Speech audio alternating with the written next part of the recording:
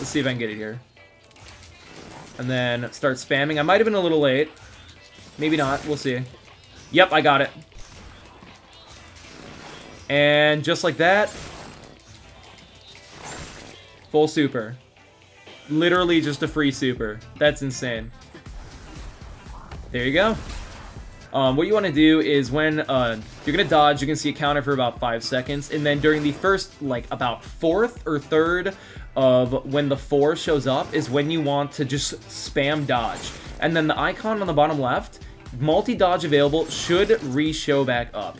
But yeah, so if you guys are wondering what's going on here, so uh, we're running um, double Dynamo, reduces super cooldown when using your class ability near targets, double up on that, double distribution here, reduces all ability cooldowns when using your class ability near targets.